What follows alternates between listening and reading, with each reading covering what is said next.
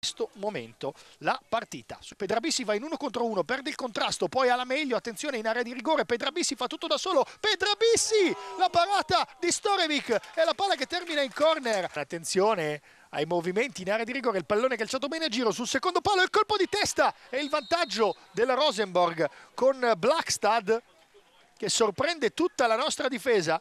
Rosenborg che passa al 24esimo con il colpo di testa di Blackstad, ha chiamato lo schema, è andato lui a saltare sorprendendo tutti, dovrebbe essere gol proprio di Blackstad con il numero 9, pensiamo di avere visto giusto. Attenzione alla palla dentro, per Forte! Il pareggio dell'Inter con Francesco Forte, il secondo gol in Next Gen Series, il pareggio nerazzurro al 37esimo con Francesco Forte che poi guida i suoi, dice non dobbiamo fermarci qui. Un pallone ha avuto, un pallone ha messo dentro.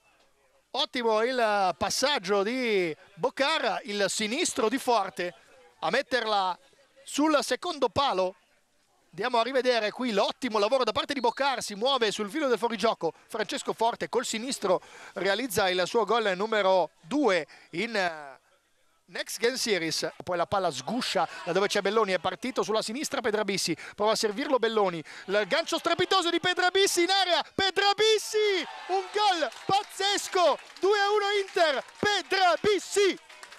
Al 25esimo un gol davvero fantastico, il primo in Next Gen Series per Thomas Pedrabissi, un gol davvero strepitoso, l'aggancio, guardate qua, il cambio da parte di Belloni e l'aggancio davvero da campione con il mancino di Pedrabissi che la mette giù e poi sa cosa fare, a giro sul secondo palo, l'Inter trova il vantaggio, ma davvero è un gol fantastico quello di Pedrabissi che festeggia la sua settimana magica con l'esordio in primavera mercoledì, aveva segnato contro il Modena il gol che aveva, aveva deciso la partita con l'1-0.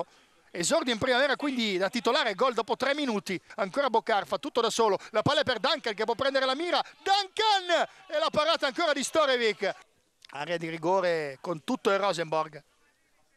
Olsen va a calciare bene all'altezza del secondo palo e c'è il gol da parte di Francesco Forte che segna la sua doppietta personale, mette in ghiaccio la partita e probabilmente anche la qualificazione. Il 3-1 meritatissimo dell'Inter con Francesco Forte in acrobazia, la sua prima doppietta in Next Gen Series, sale a quota 3 in classifica marcatori in Europa, il suo settimo centro in questa stagione, il gol di Francesco Forte rete all'85esimo.